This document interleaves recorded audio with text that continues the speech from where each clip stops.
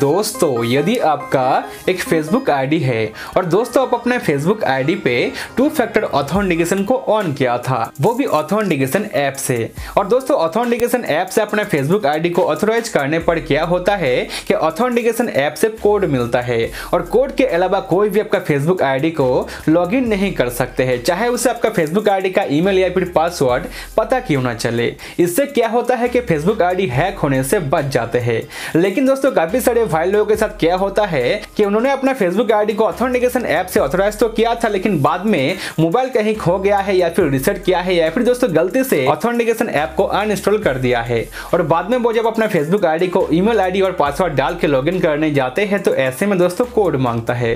तो कोड तो उसे नहीं मिलेगा, क्योंकि दोस्तों ऑथेंटिकेशन जो ऐप है वो तो रिमूव हो चुका है। तो दोस्तों, यदि आपके साथ भी ऐसा हुआ है और जब भी आप अपने फेसबुक आईडी को लॉगिन करने जाते हैं तो ऐसे में दोस्तों, यदि आपको भी कोड माँगता है तो कोड के अलावा कैसे आप अपने फेसबुक आईडी को लॉगिन कर सकते हैं, आज के इस वीडियो के अंदर मैं आप लोगों को दिखाऊँगा और समझाऊँगा।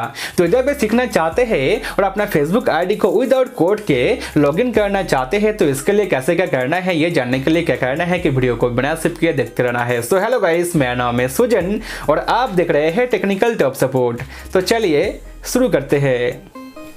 तो दोस्तों, इसके लिए जैसे ही मैं यहाँ पे फेसबुक ऐप को ओपन करके log in to another account के ऊपर प्रेस करके यहाँ पे ईमेल आईडी और पासवर्ड डाल के लॉग इन करने का कोशिश करता हूँ तो यहाँ पे आप देख लीजिए कि यहाँ पे मुझे कोड मांग रहा है। मतलब मुझे यहाँ पे कोड डालना है, तब जाके मैं अपना फेसबुक आईडी को लॉग इन कर पाऊँगा। तो दोस्तों, मैंने अपना फेसबुक आईडी को ऑथेंटिकेशन ऐप से टू फैक्टर ऑथेंटिकेशन को ऑन किया था। तो दोस्तों, यदि आपने भी अपना फेसबुक आईडी को ऑथेंटिकेशन ऐप से या फिर मोबाइल मोबाइल नंबर से टू फैक्टर ऑथेंटिकेशन को ऑन किया था और अभी आपके पास वो मोबाइल नंबर नहीं है या फिर दोस्तों ऑथेंटिकेशन ऐप नहीं है। तो ऐसे में दोस्तों आपको तो कोड नहीं मिलेगा और कोड के अलावा आप अपना फेसबुक आईडी को लॉग नहीं कर पाएँगे। तो दोस्तों इस केस में आपको यहाँ पे क्या करना है, वो आप अभी यहाँ पे ध्यान से देख लीजिए।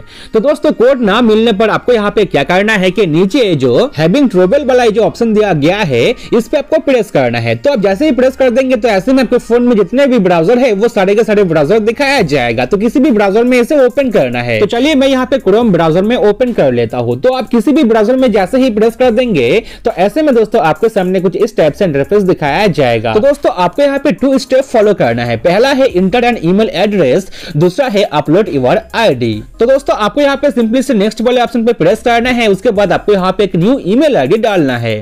तो एक न्यू ईमेल आईडी आप बना लीजिएगा, या फिर आपके पास जो ईमेल आईडी है, उसी ईमेल आईडी को आप यहाँ पे डाल दीजिएगा।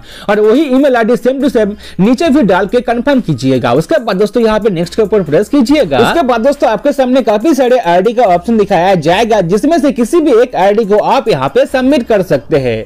तो मैं यहाँ पे अपना वोटर आईडी कार्ड को सबमिट करना चाहता हूँ तो इस पर मैं टिकमार्क लगा दूँगा। तो आप जिसे सबमिट करना चाहते हैं, उस पर आप टिकमार्क लगा दीजिएगा। उसके बाद यहाँ पे सिंपली से नेक्स्ट के ऊपर प्रेस कीजिएगा। प्रेस करने पर दोस्तों आपके सामने कुछ इस टाइप से दिखाया जाएगा। तो आपको यहाँ पे अपना आईडी का फ़ोटो ले लेना है। तो फ़ोटो लेने के लिए क्या करना है? कि आपको यहाँ पे सिंपली से गेट स्टार्टर वाले ऑप्शन पर प्रेस करना है तो आपके फ़ोन में जब आपका कैमरा है, वो ऑन हो जाएगा। तो चलिए मैं यहाँ पे अपने वोटर आईडी कार्ड का फ़ोटो ले लेता हूँ। तो दोस्तों आईडी का फ़ोटो क्लियरली लेना है। जैसे कि मैंने यहाँ पे अपने वोटर आईडी कार्ड का फ़ोटो ले लिया है उसके बाद आपको यहाँ पे नीचे आना है और यहाँ पे सिंपली से सबमिट वाले ऑप्शन पे प्रेस करना है। तो आप जैसे ही सबमिट कर देंगे तो ये सबमिट हो जाएगा। तो दोस्तों, आप यहाँ पे जो ईमेल आईडी देंगे तो दोस्तों, उसी ईमेल आईडी पे ही फेसबुक टीम की तरफ़ से मेल किया जाएगा। जैसे कि यहाँ पे बताया गया है कि thanks for submitting your information we usually review IDs within 24 hours तो दोस्तों, दो से तीन घंटे के अंदर ही आपको मेल किया जाएगा या फिर 24 घंटे भी लग सकता है। तो आपको यहाँ पे सिंपली से फिनिश वाले ऑप्शन पे प्रेस करना है, उसके बाद वेट करना है। फेसबुक टीम की तरफ़ से आपको एक मेल किया जाएगा। तो दोस्तों, आपके फ़ोन में जो आपका जीमेल ऐप है, उस जीमेल ऐप को प्ले स्टोर से सबसे पहले अपडेट कर लीजिएगा। नहीं तो दोस्तों मेल नहीं भी आ सकता है। जैसे कि मैंने यहाँ पे अपना जीमेल ऐप को ओपन किया है तो मैं जैसे यहाँ पे रिफ्रेश करता हूँ तो यहाँ पे अभी भी मेल नहीं आया है, क्योंकि दोस्तों, अभी अभी मैंने सबमिट किया है। चलिए वेट करते हैं और देख लेते हैं कितने टाइम के अंदर मुझे यहाँ पे मेल मिलता है। तो दोस्तों, जैसे कि कुछ ही मिनट के अंदर अंदर मुझे यहाँ पे फेसबुक टीम की तरफ़ से मेल किया गया है, आप देख सकते हैं। तो इसे मैं जैसे यहाँ पे ओपन करता हूँ तो यहाँ पे आप देख लीजिए कि बताया गया है thanks for confirming your identity please click the link below to finish the account recovery process तो दोस्तों, यहाँ पे जो लिंक दिया गया है, इस लिंक पे प्रेस करके मैं अपना फेसबुक आईडी को रिकवर कर सकता हूँ। तो आपको भी कुछ इस टाइप से लिंक दिया जाएगा, जिस पे आपको प्रेस करना है और किसी भी ब्राउज़र में इसे ओपन करना है। तो किसी भी ब्राउज़र में जैसे ही ओपन कर लेंगे तो ऐसे में दोस्तों, यहाँ पे बताया गया है, आप देख लीजिए। कि सेव ब्राउज़र या फिर डोंट सेव तो इन दोनों ऑप्शन में से किसी एक ऑप्शन में आप टिक मार्क लगा दीजिएगा, उसके बाद यहाँ पे कंटिन्यू कीजिएगा। कंटिन्यू करने पर दोस्तों आपके सामने कुछ इस टाइप से दिखाया जाएगा। तो आपको यहाँ पे confirm access to your phone बताया गया है तो आपको यहाँ पे यस करना है। और यहाँ पे बताया गया है कि योर अकाउंट इज़ अनलॉक तो आपको यहाँ पे सिंपली से गो टू सेटिंग्स वाले ऑप्शन पर प्रेस करना है। तो जैसे ही गो टू सेटिंग्स वाले ऑप्शन पर प्रेस कर देंगे तो ऐसे में दोस्तों आपके सामने कुछ इस टाइप से इंटरफेस दिखाया जाएगा। तो चलिए दोस्तों, अभी मैं आप लोगों को और एक बार अपना फेसबुक आईडी को लॉगिन करके दिखा देता हूँ। तो इसके लिए जैसे ही मैं यहाँ पे अपने फेसबुक आईडी का ईमेल और पासवर्ड डाल के लॉगिन करने का कोशिश करता हूँ तो यहाँ पे आप देख लीजिए कि मुझे यहाँ पे कोड डालने के लिए बोला जा रहा है। जैसे कि आप यहाँ पे देख सकते हैं।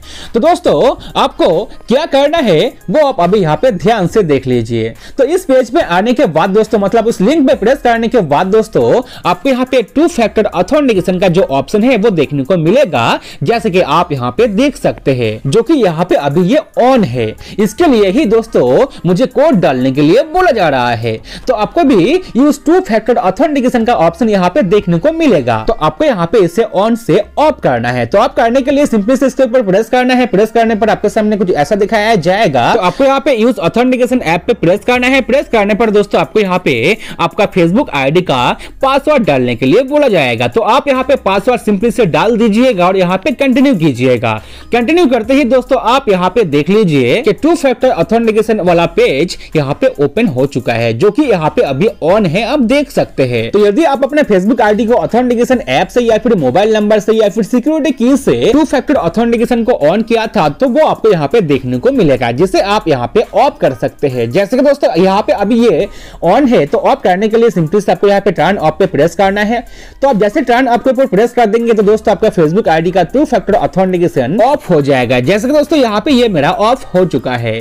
तो चलिए दोस्तों अभी मैं अपना फेसबुक आईडी को लॉगिन करके आप लोगों को दिखा देता हूँ। तो जैसे मैं यहाँ पे फेसबुक ऐप को ओपन करके यहाँ पे फेसबुक आईडी का ईमेल आईडी और पासवर्ड डाल के यहाँ पे सिंपली से लॉगिन वाले ऑप्शन पे प्रेस करता हूँ तो यहाँ पे आप देख लीजिए कि मुझे यहाँ पे पहले कोड डालने के लिए बोला गया था और अभी यहाँ पे कोड के अलावा मेरा फेसबुक आईडी यहाँ पे लॉगिन हो चुका है, आप देख सकते हैं। तो आपका भी फेसबुक आईडी विदाउट कोड के लॉगिन हो जाएगा। जैसे कि मेरा फेसबुक आईडी यहाँ पे खुल चुका है।